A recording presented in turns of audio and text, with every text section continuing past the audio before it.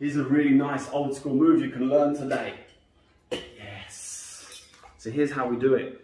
I'm gonna use my practice bottle to make it easier. Now, we've got to learn how to do flat throw back to front. We're gonna throw the bottle up and grab it in this position. Up and grab by the shoulder of the bottle. Okay, one solid grab on that bottle. And at the same time, the shaker you're gonna throw up as if you're gonna do a roll with the shaker, like so. So the bottle's gonna come up, bottle's coming up, you throw the shaker up, grab the bottle, roll the shaker. So when you do the whole thing together, throw, catch, roll, try and do it a bit slower, throw, catch, roll. Yes. Mm.